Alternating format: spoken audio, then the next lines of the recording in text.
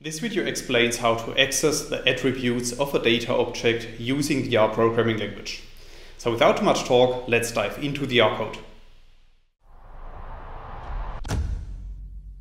In this video I will show you an example and for this example we first need to create a data object as you can see in lines 2 and 3 of the code. So after running these lines of code you can see at the top right of RStudio that a new data object called data is appearing and we can also print the content of this data object to the RStudio console by running line 4 of the code. And then you can see at the bottom in the RStudio console that we have created a data set which contains five rows and the two columns x1 and x2. Now let's assume that we want to access the attributes of this data object. Then we can apply the attributes function as you can see in line 6 of the code.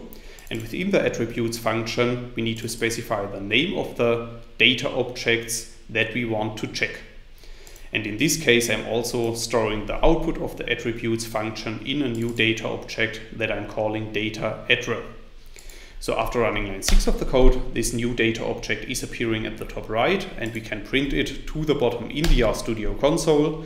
And then you can see that we have created a list of attributes so this specific list contains the names of our data object, in this case x1 and x2, the class of our data object, so in this case we are dealing with a data frame, and the row names of our data object, so in this case the row names of our data object are ranging from the value 1 to the value 5.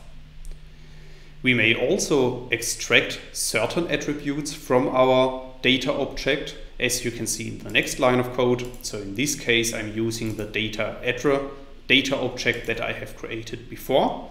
And then I'm using the dollar operator to extract a certain element of this data object. So in this case, I'm interested in the class of our input data object. And for that reason, I'm specifying the class element. So after running line 9 of the code, you can see that only the class of our input data object is returned. So in this case, we are dealing with a data frame. That's all I wanted to explain in this video.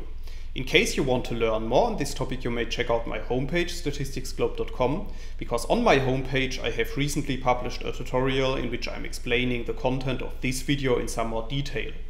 I will put a link to this tutorial into the description of the video so you can find it there.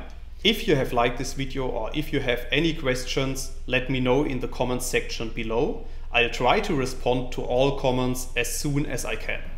Furthermore, make sure to subscribe to my YouTube channel to get notified about future video releases.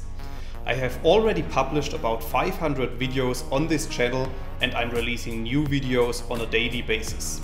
Thanks a lot for watching, see you in the next video.